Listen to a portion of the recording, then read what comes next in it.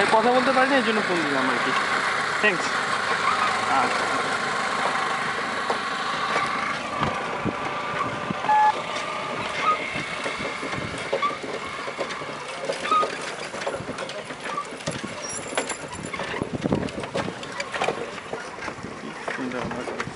হুম? ধর